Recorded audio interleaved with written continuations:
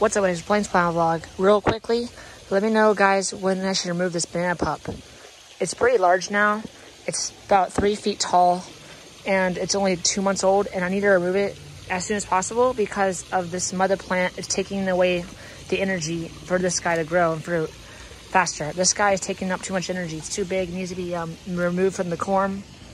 But there's one limiting factor that's stopping me from doing it that I need your opinions on. The heat. We're having 100 degree days all week with no signs of relief in the next couple weeks. So let me know if that's a good, if, it's okay to remove the pup or if that will, or if removing the pup in this heat will cause the mother plant to go through significant shock. Because I don't want this guy to go through shock. I want this guy to um, keep growing faster and faster. But this guy needs to be removed first before this guy can grow faster. This guy's growing twice the speed as this guy, and that's not really what we want, right? So we need to remove this pup. But I need your opinions on what I should do in this heat.